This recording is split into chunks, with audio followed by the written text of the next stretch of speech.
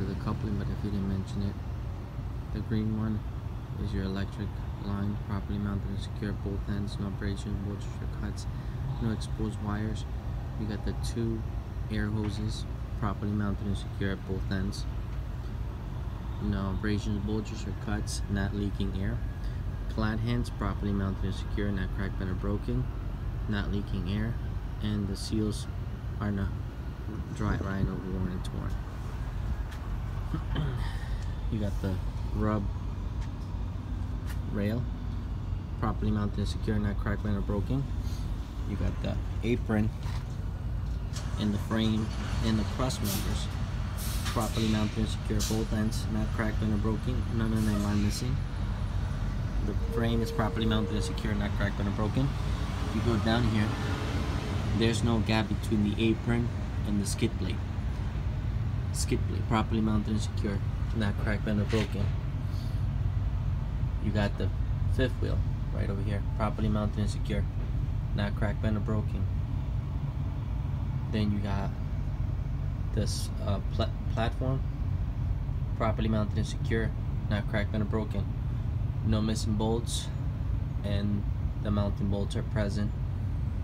Back here you got the air hose properly mounted and secure. Both ends not leaking air.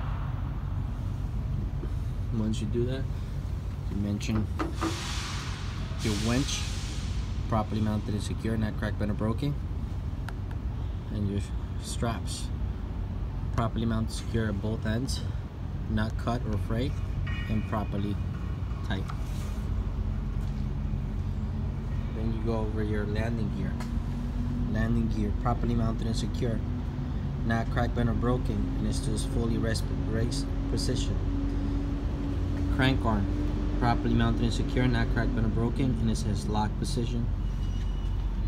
The clearance from the mud flap to the landing gear it's good it's clean so that way it doesn't hit when I'm turning.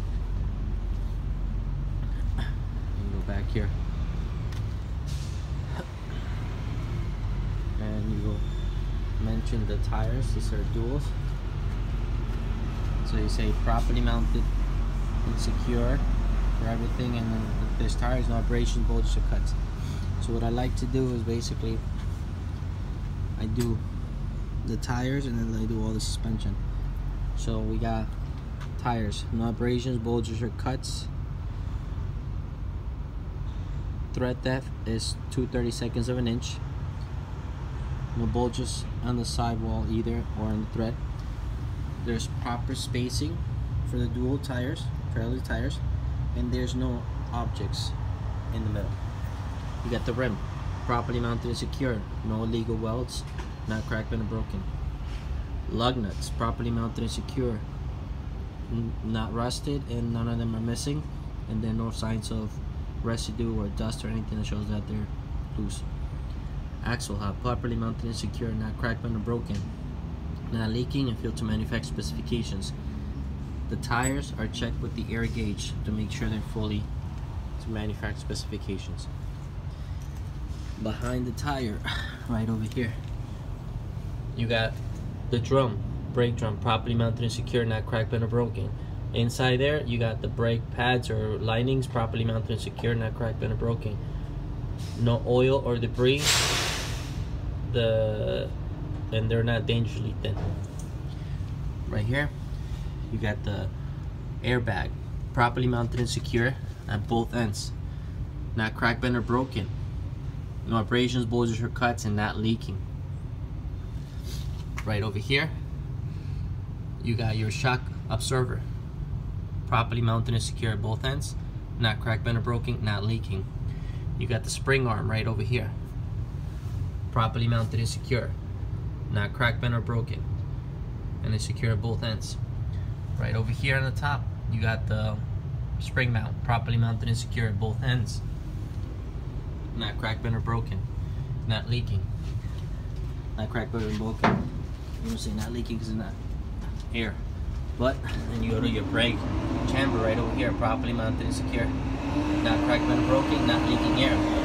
Right over here, you got the air hoses properly mounted and secure both ends Operation bolsters or cuts, not leaking. So here's your mount. Spring mount, properly mounted and secure, not cracked or broken. Mud flaps, properly mounted and secure, not cracked or broken. You got right here your slack adjuster properly mounted and secure not cracked or broken. And usually your slack adjuster is behind right You're behind that um, brake chamber. When you pull it with your hand it shouldn't pull more than one inch. You got your shock absorber right over here. Properly mounted and secure both ends not cracked or broken not leaking. Air lines over here properly mounted secure both ends and operations bulge for cuts not leaking air. And that's it for that.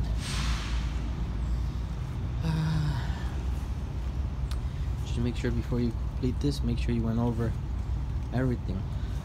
Spring mounts airbags spring arm air hoses brake chamber the slack adjuster and push rod. And once you did that you completed the trailer inspection